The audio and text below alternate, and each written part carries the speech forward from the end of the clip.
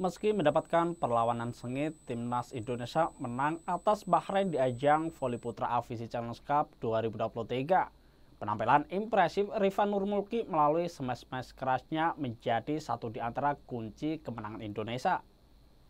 Timnas bola voli putra Indonesia akhirnya berhasil menutup babak fase grup AFC Challenge Cup 2023 dengan status juara grup. Indonesia menyapu bersih dua pertandingan pada babak Pool F berkat kemenangan atas Sri Lanka dan Bahrain.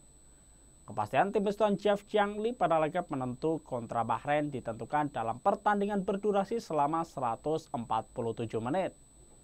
Timnas Indonesia memetik kemenangan dengan skor 3-2 setelah berjibaku selama 5 set pada pertandingan yang digelar di Hall University Taipei, Taiwan pada Senin 10 Juli kemarin. Situasi sulit sempat didapat Indonesia setelah tertinggal 1-2 pada set ketiga. Akan tetapi perjuangan yang pantang menyerah bagi penggawa Merah Putih akhirnya sukses membawa Indonesia tidak akan bertemu tim unggulan pada babak 12 besar.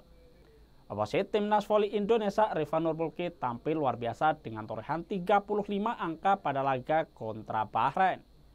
Dengan pengalamannya, Rifan tampil cukup tenang menghadapi para middle blocker Bahrain yang tampil sangat baik. Set keempat dan kelima, Rifan tampil ganas dan menjadi andalan Indonesia dalam mendulang poin.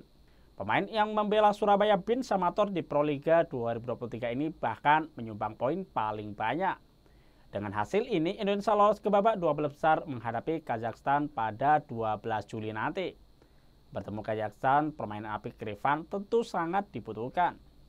Apalagi Kazakhstan merupakan negara yang menduduki peringkat 61 dalam daftar ranking voli putra ranking VIVB.